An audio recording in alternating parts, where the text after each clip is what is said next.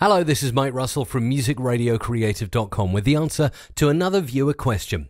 It comes in from Mr. Adam Turner Music who says, Hi Mike, MRC regular client here. Do you have a tutorial on how a voiceover might be able to affect another channel in the mix? For example, voiceover being able to automatically duck the music.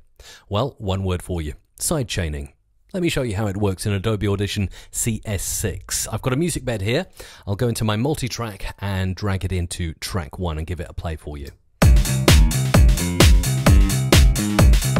So there it is. Now, this could be the music from a promo or perhaps the theme music to your podcast. And clearly, you want to duck it down so that the words you say are intelligible over the music. Let me record into track two and give you an example.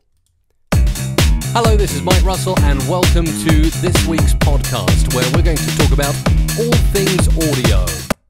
Now, I'm sure you could hear as I was recording that, I was struggling to compete against the music. So let's take a listen now back to this track and the voiceover together with no ducking in place. Hello, this is Mike Russell, and welcome to this week's podcast.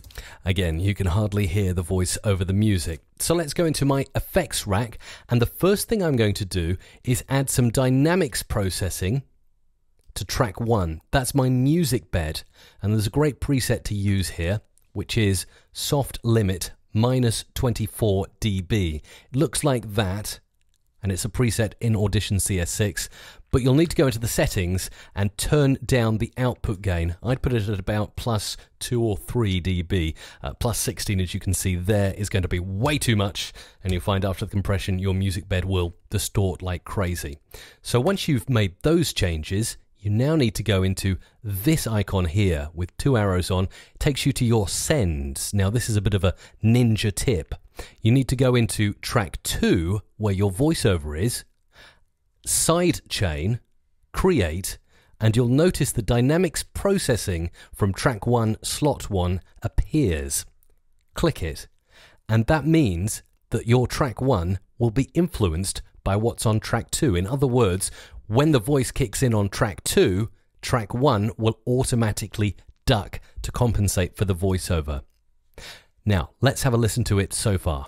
Hello, this is Mike Russell, and welcome to this week's podcast where we're going to talk about all things audio. It sounds great. You can already hear the ducking in action there. I'm going to do one more thing effects rack on track two. I'm going to add my processing there to really make the voice pop out. And if you'd like to see my processing in full, you can go back to a previous video and see that on my channel. Let's take the studio reverb off because that will be overkill and listen to this in action. Hello, this is Mike Russell, and welcome to this week's podcast where we're going to talk about all things audio. Beautiful and much better than you could ever do by manually controlling a fader.